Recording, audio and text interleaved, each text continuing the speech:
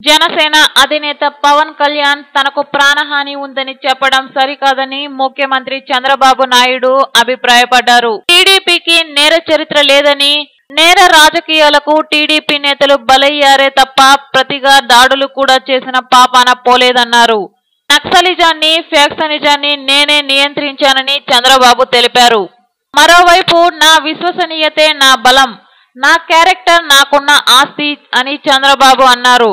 ప్రతిపక్ష నేత జగన్ను ఎన్డీఏ ప్రభుత్వం కాపాడుతోందని ఆరోపించారు. రెండు వేల పంతొమ్మిది ఎన్నికల్లో తాను పోటీ చేయకుండా తనను హత్య చేసేందుకు ఓ ముగ్గురు కుట్ర పన్నుతున్నారని పవన్ కళ్యాణ్ గురువారం ఆరోపించారు.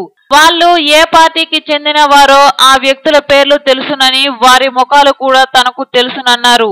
అయితే తాను భయపడనని వీటన్నింటికి సిద్ధపడే రాజకీయాల్లోకి వచ్చానని స్పష్టం చేశారు. అటు తనను హత్య చేసేందుకు కుట్ర పన్నుతున్నారని పవన్ కళ్యాణ్ ఆరోపించడంతో వారి పేర్లు చెప్పాలని పశ్చిమ గోదావరి జిల్లా ఎస్పీ రవి ప్రకాష్ కోరారు. ఆధారాలు ఏమైనా ఉంటే పోలీసులకు తెలియచేయాలంటూ పత్రికా ప్రకటన విడుదల చేశారు.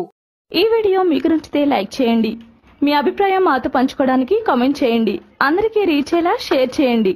కానీ మా ఛానల్ని సబ్స్క్రైబ్ చేసుకోవడం మాత్రం మర్చిపోకండి.